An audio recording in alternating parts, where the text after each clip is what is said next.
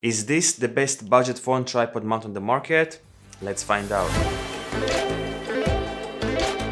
This is the Ulanzi ST03 phone tripod mount. With this mount you'll be able to mount your phone on a tripod and you'll also be able to mount an external microphone or an external light on this mount with your phone. I bought it on AliExpress for $12.5 but if you'll want to buy it from Amazon it'll be $16. Affiliated links are in the description box down below. Box is pretty simple, straightforward. And this is the mount. Built completely out of aluminum, extremely durable, extremely portable and lightweight.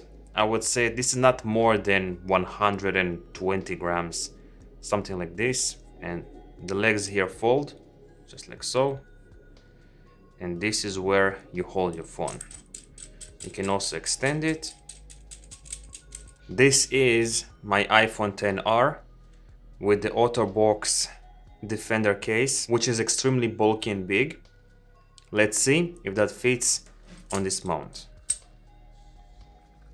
Extend it a bit more and it fits no problem. Now here is where you mount your microphone or external light a cold shoe mount in here. On the bottom we have two mounting options. The first one is a thread to thread it directly on a tripod and the second one is an Arca Swiss option which is really awesome. So this is my Manfrotto Pixie Evo. You can mount this uh, mount with the thread directly just like so. And if you want a quicker option you can get something like this. This is an Andoer quick release Arca Swiss system. Very small and portable.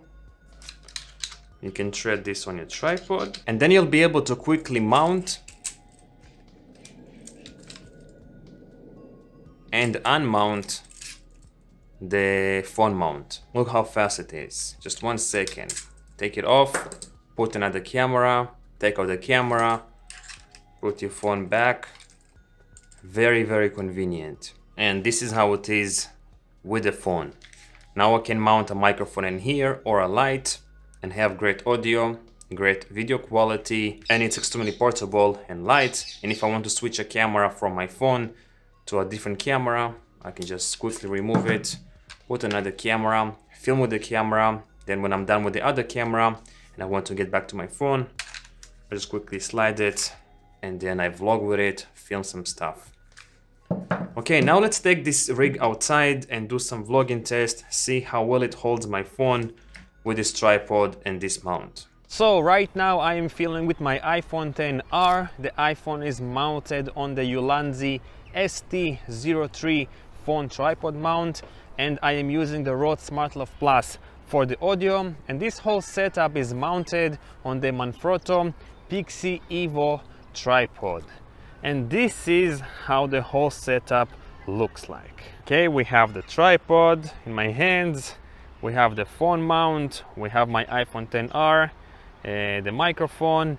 In here i just wanted to show you how a shotgun microphone would look like on top of the mount. This is the Rode video micro but unfortunately i cannot plug it into my iphone because this is a trs cable and I need a TRRS cable to plug it to the phone. So the only test that I want to do with this setup is durability test or stabilization test and see how well this uh, phone mount holds my phone. So let's say for example when I am running, when I'm just swinging my tripod around and just you know throwing it, I just want to see how well the phone is secured on this mount. So let's do a running test. And at the same time I can kind of see the stabilization of my iPhone. So, so far it seems very good. Now I'm just gonna try to shake the whole setup and see if the phone will fall out from the mount. So I'm just shaking it very, very hard, as hard as I can. And nothing is falling.